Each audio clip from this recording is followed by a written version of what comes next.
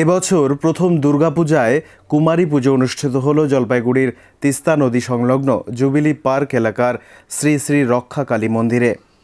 এবারে দুর্গাপূজা দ্বিতীয় বর্ষে পদার্পণ করল।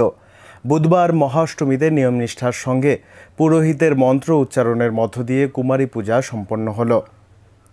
পুজো কমিটির সম্পাদক সঞ্জীব ভদ্র বলেন, প্রতিবারের মতো এবারও দুর্গা পূজা হচ্ছে, তবে পুজোর বিশেষত্ব আলাদা। এবার পুজোয় প্রথম কুমারী পুজো হলো। তবে করোনা বিধি মাথায় রেখে মন্দির চত্বরের বাইরে দর্শনার্থীদের প্রবেশ করানো যায়নি। সামান্য কিছু মানুষকে ভেতরে রেখে গেট তালা মেরে দেওয়া হয়। এদিনের কুমারী হয়েছেন শ্রীনিকা চক্রবর্তী, বাবা Gaurav Chakraborty. School holy child, শ্রেণি কেজি, বয়স চার বছর এগারো মাস। বাড়ি জলপাইগুড়ি শহরের পান্ডাপাড়া এলাকায়।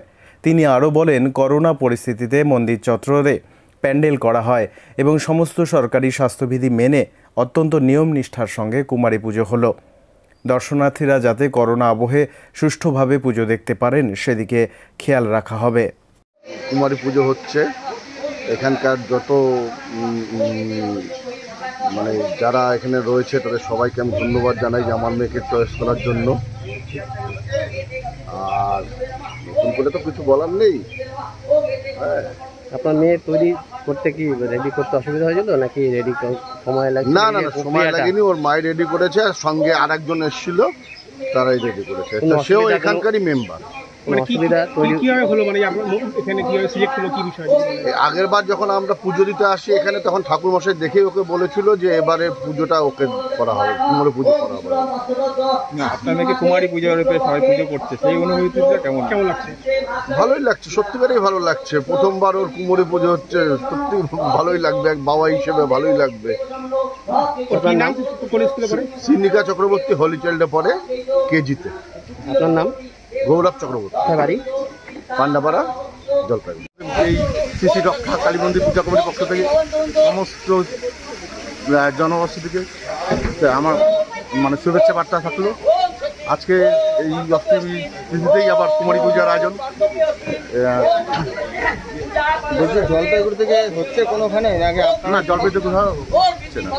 এই বছর আপনারা প্রথম এই প্রথম পূজায় কুমারী পূজা প্রথম করছি। কেমন লাগছে? দারুণ আনন্দ ভাষা নেই। দারুণ আনন্দ লাগতো।